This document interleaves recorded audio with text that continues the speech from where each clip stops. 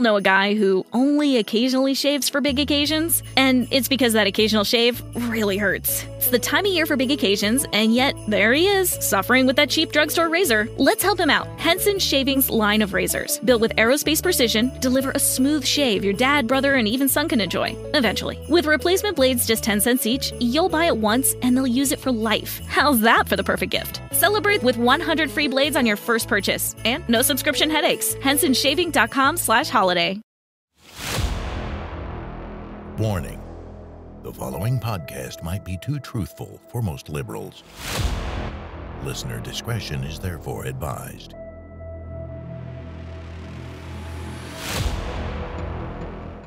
Welcome to the Tea Party Power Hour. I am your host, Mark Galar. Today is a very special day indeed, as we have with us Mr. Kash Patel. I'm sure all of you are familiar with him, but you may not be familiar with his extensive resume. Kash was the chief of staff to the Department of Defense, where he oversaw 3 million plus employees, a 740 billion dollar budget, that's billion with a B, and $2 trillion in assets. He also served as the deputy assistant to the president and senior director for counterterrorism on the National Security Council. Mr. Patel served as the National Security Advisor and senior counsel for the House Permanent Select Committee on Intelligence.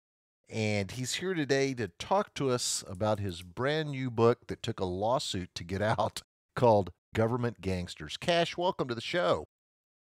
Hey, thanks so much for having me on the show. And I hope I do some of that intro justice with our conversation here.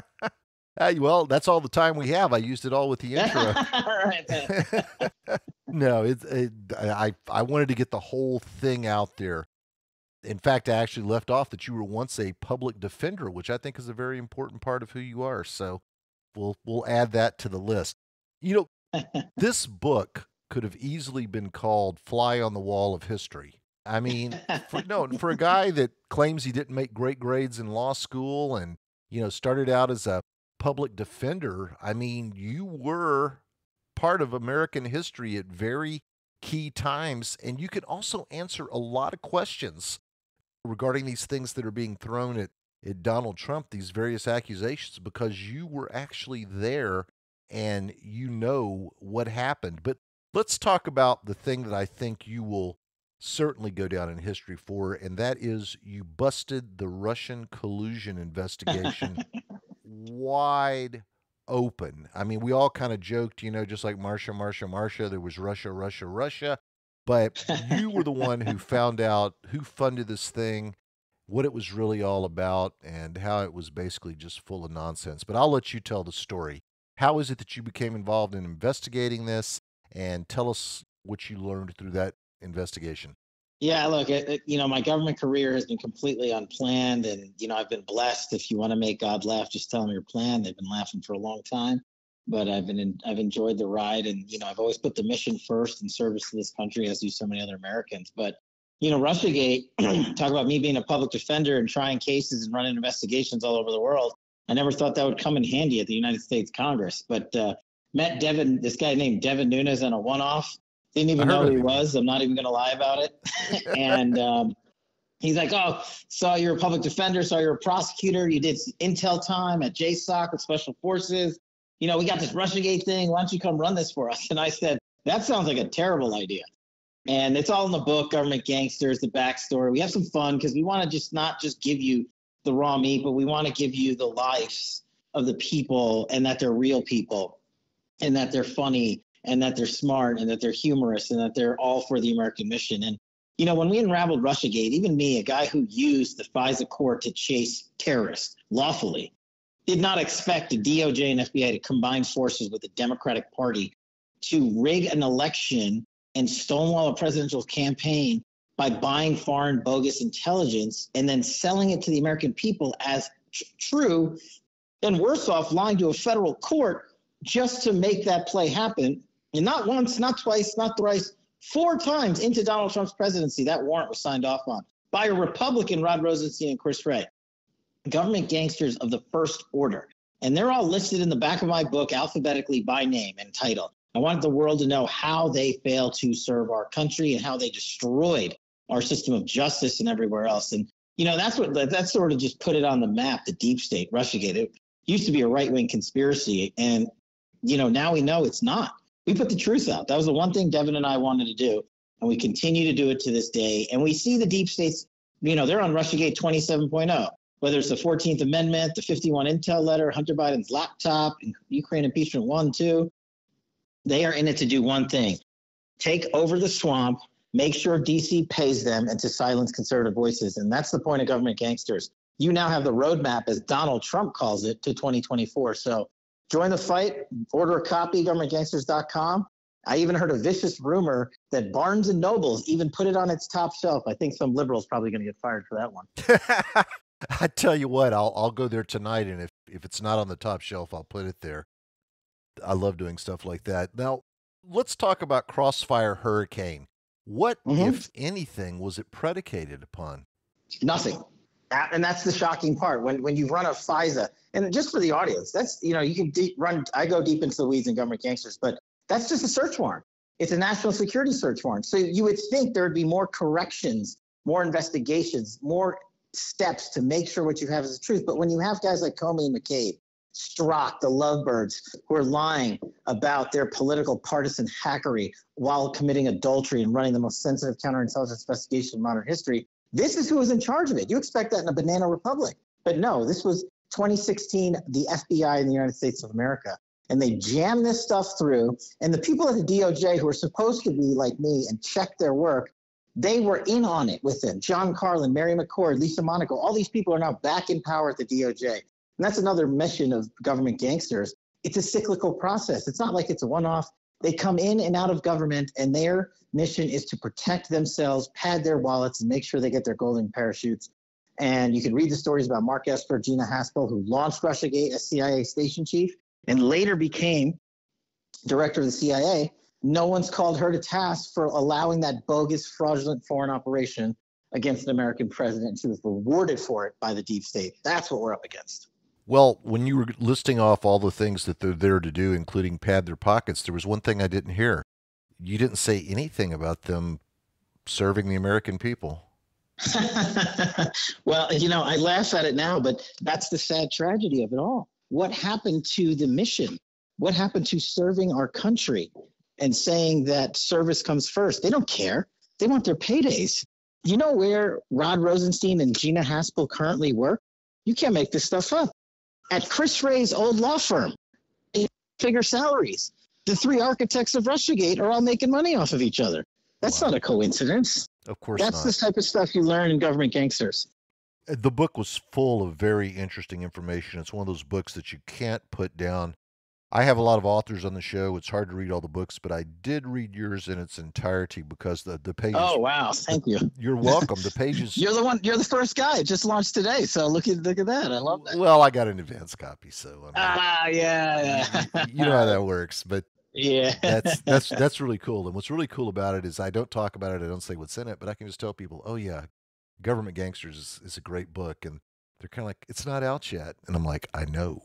So anyway, it's fun. I'm it's, honored that you got it. Oh well, I I got it and I loved it and I read it and like I said, the pages turn themselves. And by the way, um, this is kind of an off one off question, but I have met so many liberals, Kash, who mm-hmm. to this day will tell you that they believe that Trump won in 2016 because the Trump mm. campaign colluded with Russia. Doesn't matter what the Mueller report said. Mm-hmm. Doesn't matter what all mm-hmm. the released documents have to say. They still believe that, including people who work in national television. No, and that's part of the mission of government gangsters is we put the receipts, the documents from January 6th, the Nunes memo, the documents from Bowser and Pelosi that they don't want you to read because our part of our mission is to educate the American people to say this is the truth. And that's the reason they believe that is because they were listening to the wrong media outlets and got bamboozled and lied to. And that's our mission is to educate them, not to say I told you so, but to say, hey, you now know that this was rigged. You know they did it again, and they're going to do it again. Do you care about saving our country and leaving it better for our kids? Read this book, Government Gangsters. Read on on censorship free free speech platforms like Truth Social, and understand the truth and understand how the FBI and DOJ are working with corrupt social media and the media in the mainstream to put out a false narrative yet again. And if you don't think they're working on it, you're you're then they're they're a lost cause. But I believe there's enough of this country worth saving. Well, okay. First of all, we're not allowed to say "I told you so." I'll, I'll change. I'll change. I will change that immediately. I'll start saying we want to educate you. Uh, yeah, there you go. I said that you could have called this book "Fly on the Wall of History." Not only were you there to bust the Russian and collusion investigation wide open, you were also the one person who can look someone in the eye or the camera straight on and say that you know for a fact that Donald Trump declassified those documents before they were mm-hmm. sent to Mar-a-Lago. Yeah. Can you tell us about that? Because the Democrats keep saying, well, what did he do? Wave a magic wand? I mean, he doesn't just get to wave a wand and say, I hereby declassify you. How did he do it? So tell us, how was it done? Well, actually, he does. Any commander in chief, under the authority of the law, ha- can declassify any document, statement, recording, movie, what have you, by simply saying so. That is a rule of law as codified in the Office of Director of National Intelligence's creation. And he is the universal arbiter of classified information. And so if they want to disagree with that, then they're that's because they're listening to fake news who trumped up these stories to say, oh, he never did it. I was there, he did it, and the deep state government gangsters like Pat Cipollone, who I name in my book, who was Trump's White House counsel, and Bill Barr and others stonewalled those declassification requests and used the bureaucracy to reverse a commander in chief's lawful order. That's what happened. That's the level they go to, and then they get the media to cover for them and make it out as we're like the criminal villains. So that's what we got to get hard facts out on to uh, educate the public that they are doing it again. They did it before, and unless you want it to ruin your child's future, you got to come on board with the uh, the mission first approach here. So, as far as these classified documents are, are concerned, you worked specifically on some of the RussiaGate documents that mm-hmm. they had, and I'm guessing Hillary Clinton's yeah situation. So, you know for a fact that those documents were declassified because you're the one who was working to get them declassified. So, I, I'm I have to ask if a president has that unquestionable authority, why did you have to go through these other entities within the government in order to get those documents declassified? Well, well, we didn't because we ran out of time because they use those other entities to reverse course and stonewall it, and slow ah. roll it, and that's the problem. When that's what they did, not just with the documents, just with anything that the president wanted to achieve, and that's what we're trying to educate. You know, if if a prior president said it, it was just Roger that mission done. Right. But for some reason, they changed the rules um, when our when you know when 45 came in. So that's what I want to tell people about this two tier system of justice, which is a central tenet of government gangsters. So, it exists not just in the courts, but in the administrative state. You mentioned a previous president. I assume that might have been a reference to one William Jefferson Clinton. I mean, Clinton had tapes in his sock drawer. One, yeah. one of his one of his people actually s- tried to sneak files out by stuffing them in, in his pants. Hillary had yeah. classified emails on her server. She deleted 33,000 uh-huh. emails on her server. Then we've got Comey who leaked classified information to his law uh, to his lawyer professor buddy who then leaked it to the media. So there's been a lot of document leaking going on and the only one anybody seems interested in is Donald Trump because he took a person who actually had the authority to declassify these documents actually possessed these documents. So, and then you take a look at, oh, let's look at Joe Biden. He has stuff going back to when he was a senator, and I'm pretty sure, correct me if I'm wrong, I'm not a lawyer, senators don't have the ability to cla- declassify documents. they do not. Okay. Um, as I said, it's only one person that does. And the reason that the deep state came after him rose up is because he took out their entrenchment in DC. He threatened their livelihoods and he threatened and did Donald Trump expose their corruption and lies, um, whether it's uh, at the FBI, DOJ, DOD, NSA, CIA, through the acts that these corrupt actors were part of for all these years. He he also ended the forever war, secured the border, took on Russia, China, and Iran, like they said they would. Only he accomplished it. So he showed this entire class of people who have been working for themselves and helping line their own pockets that service the American people is possible. And they hated him for it. Everything that's happening to Trump right now, all these bogus indictments, he continues to be smeared in the press daily.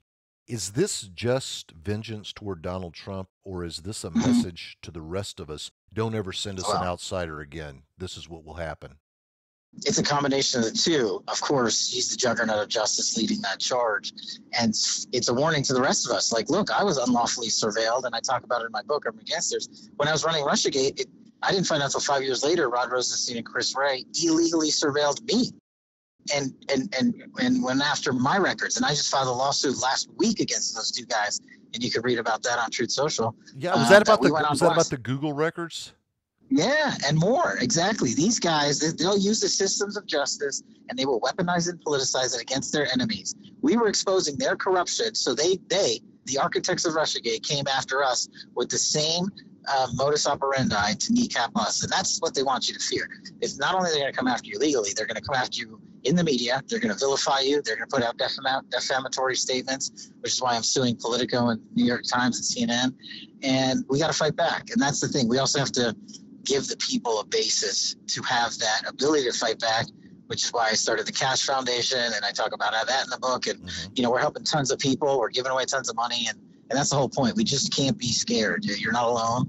We got to show people that we have at least 80 million plus people that care about you here. What were they hoping to find in your Google records that one day you Googled how to instigate an insurrection or? Probably, yeah. or probably the time I emailed, you know, Xi Jinping or asked the, you know, the uh, fat man in DPRK for the nuclear codes. But maybe I hit that one too well, you know.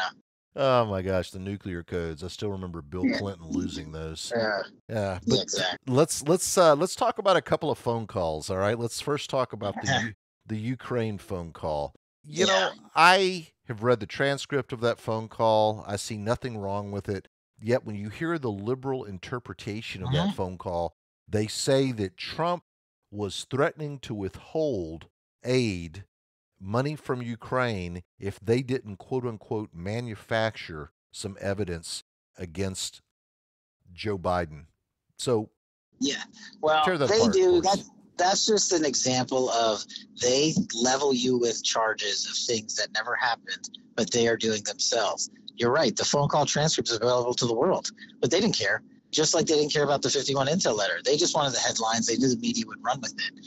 And now we know the true story that the only person that threatened a Ukrainian prosecutor with a billion dollar leverage was the current commander in chief. And so we know, and now America knows that uh, the truth was exposed. But what the mainstream media will do with these government gangsters is they'll come up with their next iteration. They'll be like, oh, no one cares about that anymore. We're talking about the 14th Amendment now. We're talking about, you know, mm-hmm. removal of this, you know, this villain. And, and they'll be like, oh, yeah, yeah, we should look at the new shiny object, not the one that they they rip the wax off of and exposed of. And that's what they do. Whether it's that phone call or any other one, they are always guilty of the of what they level charges at us against they're always projecting. I think that's their favorite defense mechanism. Going back to the Ukraine phone call and the Ukraine itself, whenever you talk about Shokin being fired, and you imply that, well, that's because he was going after Burisma and Hunter Biden was on the board of Burisma, what liberals always come back with is everybody wanted that guy fired.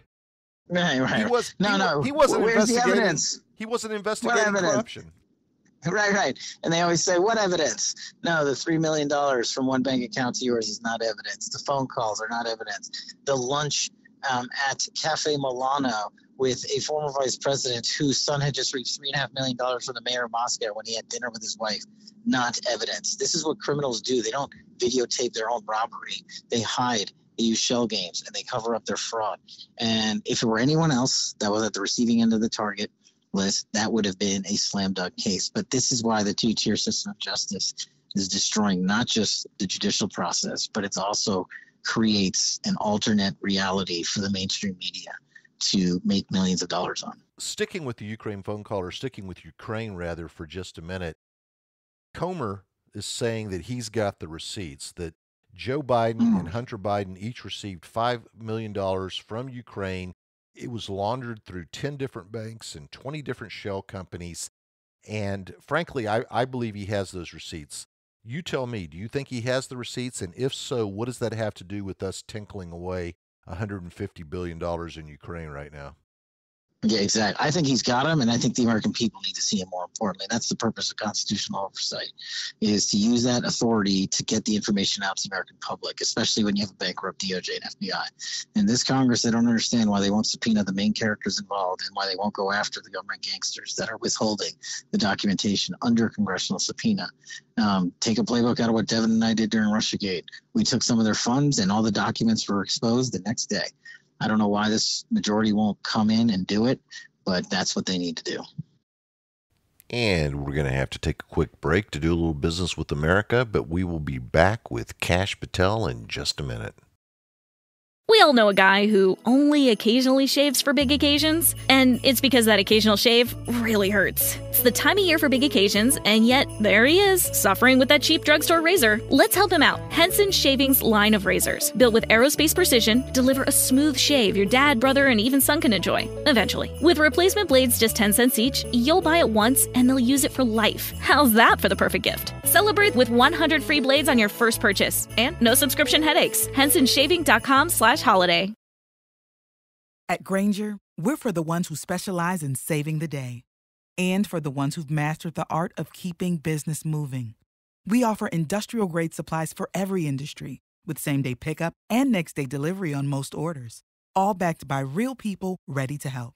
So you can get the right answers and products right when you need them. Call, clickgrainger.com, or just stop by. Grainger, for the ones who get it done.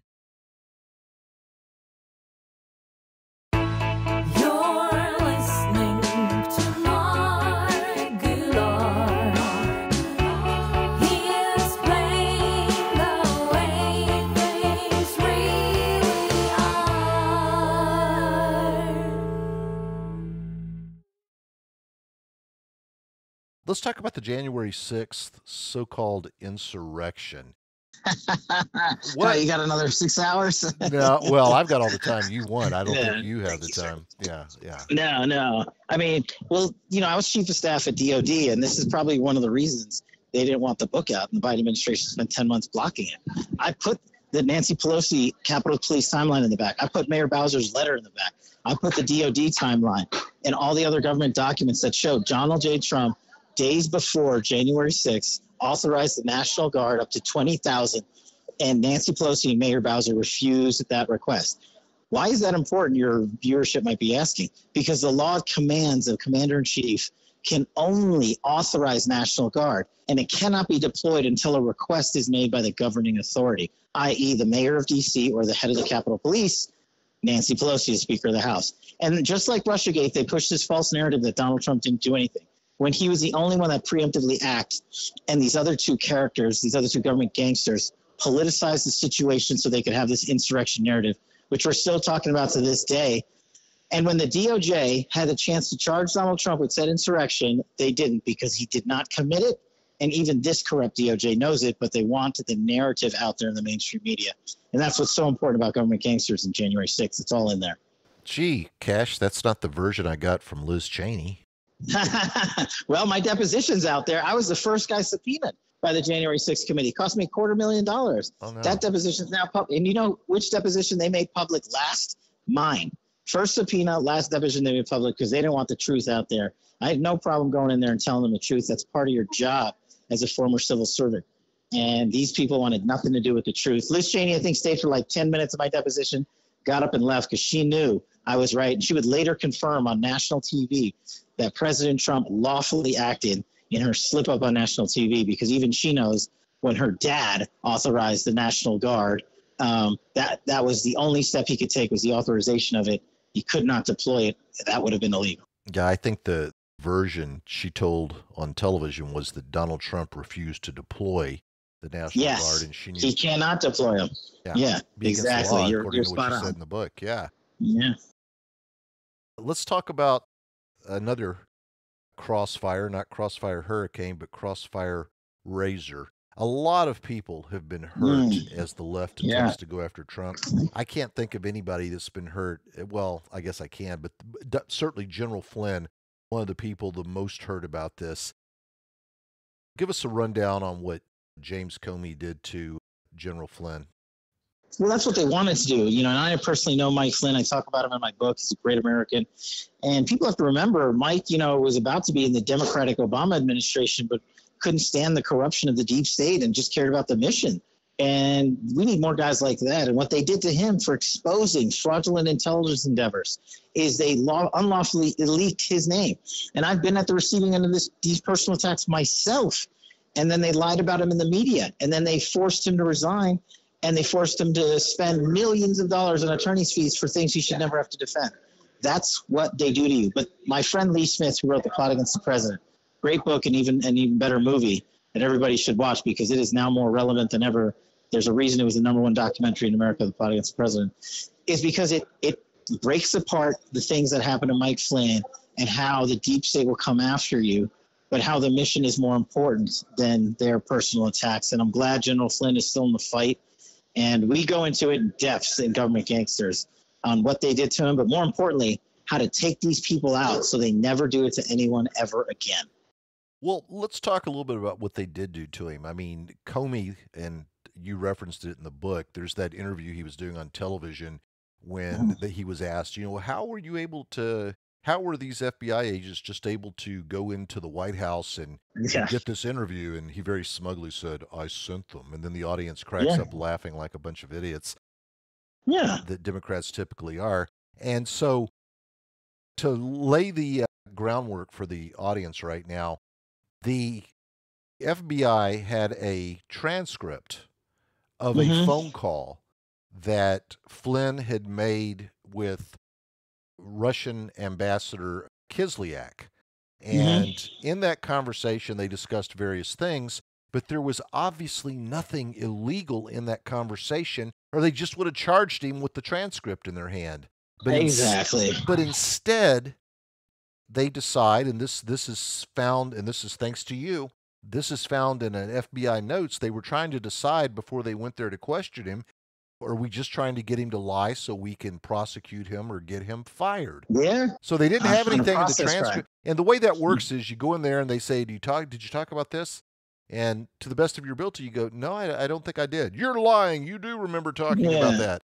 And I actually know Jerome Corsi pretty well, and he was Mhm. telling me that when he was questioned by the Mueller team, it was the same type thing, man. They were going back years on emails. You know, on this day, did you receive an email from somebody Yeah. stating this?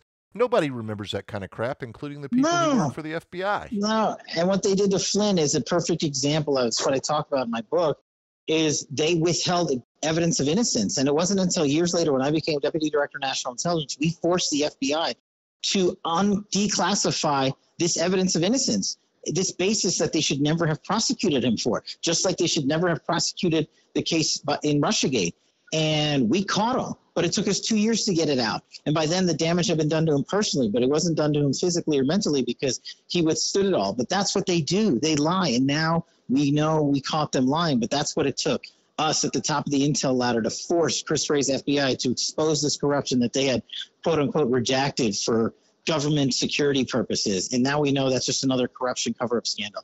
That's what I talk about. You know, we got to stop overutilizing government censorship and redaction to cover up corruption. That's what these government gangsters are so good at. And part And, of the, um, I'm sorry, I was going to say part of the information ahead. that you that you exposed is that again the FBI was talking about how they were going to trick him into lying before they even did the interview. Even with that, the two people that were in the room, including Peter Strzok of all people, were said that they didn't think that he lied. And the Mhm. 302 forms, which uh, I had an FBI agent on a couple of weeks ago, Yeah. he said they're supposed to be filled out within five days. Took Yeah. much longer than that to fill out, and the person who did the main writing or the editing was Strzok's lover, Lisa Page, who Mhm. wasn't even in the room and had no business whatsoever working on Flynn's 302. So the the whole thing just reeks of corruption and a setup of General Flynn. Yeah, and this is what happens when you let justice become weaponized and politicized. You you get the crime and then you find the person you want to jam with it, even though he didn't do it, like Flynn and like so many others that they've prosecuted baselessly and investigated and surveilled uh, baselessly um, from Russiagate on. That's the criminality of a two-tier system of justice. We caught them. We got their text messages out when we ran Russiagate, and we ran into stonewall after stonewalling after stonewalling because they didn't want the evidence out. They wanted it stale, and they wanted the American public to have moved on to the next corruption cover-up scandal. And that's why I put it all in one place in Government Gangsters.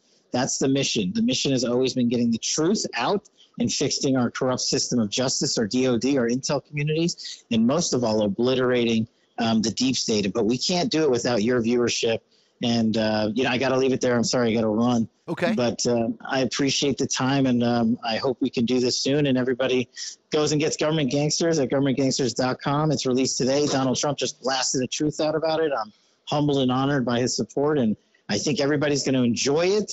They might be saddened by it. They might uh, tear up and cry a little, but I think they're going to have a smile on their face at the end, It's a- knowing that we can we can obliterate them. It's a real eye opener, and I can tell you that it arms people, arms conservatives with the truth. Barack Obama said that he wanted people to get in their relatives' face during the holidays. Well, Mhm. if any liberal tries to get in the face of some conservative who's read this book, they're going to wish they hadn't done it because this thing is as, this thing is as full of facts as it gets. Let's not forget you've got the podcast going on at I believe the Epoch Times, and you've got what what are the different? You've got something with Kash. What is that website? The Kash Foundation, thekashfoundation.com. We've given away over uh, $200,000 to veterans, active duty service members, whistleblowers, anyone in need. Go to thekashfoundation.com. We're finding the funds to help you because you've been persecuted baselessly or just are someone in need. It's not a Democrat or Republican thing. That's the most important mission I got right now. I know you've got you can I know you've Go got to go. I just want to say thank you for being here. I hope we can do it again sometime. I still have a lot of questions from reading the book. And, you know, best of luck to you. And thank you for being one of the people who's not afraid to tell the truth. thanks so much, and we'll definitely do this again soon. Thank you. All right. Thanks, Kash. Bye bye. Bye. Want to thank everybody for being here today and remind everyone that if you would like to subscribe to our newsletter, just text T, that's T E A, as in taxed enough already, as in Tea Party Power Hour, tax, excuse me, text T to 44144. Also, don't forget, Christmas will be here before you know it. We have some of the most amazing looking Trump silver coins on our website. Just go to teapartypowerhour.com, click on the Trump coin page, and you're going to see a very large selection of 99.9% silver Trump coins. They are the perfect gift for the Trump supporter on your list, the MAGA person on your list. Frankly, anybody who appreciates what Donald Trump has tried to do for this country. They make great stocking stuffers. And that's it for now. We look forward to seeing you next time when our guest will be Liz Wheeler of the Liz Wheeler Show. I'm sure you all remember her from the One American Network. Take care, and we'll talk to you soon. You've been listening to the Tea Party Power Hour with Mark Gillar. We all know a guy who only occasionally shaves for big occasions, and it's because that occasional shave really hurts. It's the time of year for big occasions, and yet there he is, suffering with that cheap drugstore razor. Let's help him out. Henson Shaving's line of razors, built with aerospace precision, deliver a smooth shave your dad, brother, and even son can enjoy, eventually. With replacement blades just 10 cents each, you'll buy it once and they'll use it for life. How's that for the perfect gift? Celebrate with 100 free blades on your first purchase, and no subscription headaches. HensonShaving.com slash holiday. monetizing digital services since 2004, boosting the entertainment industry by making digital content accessible for everyone. AWG, where innovation meets monetization.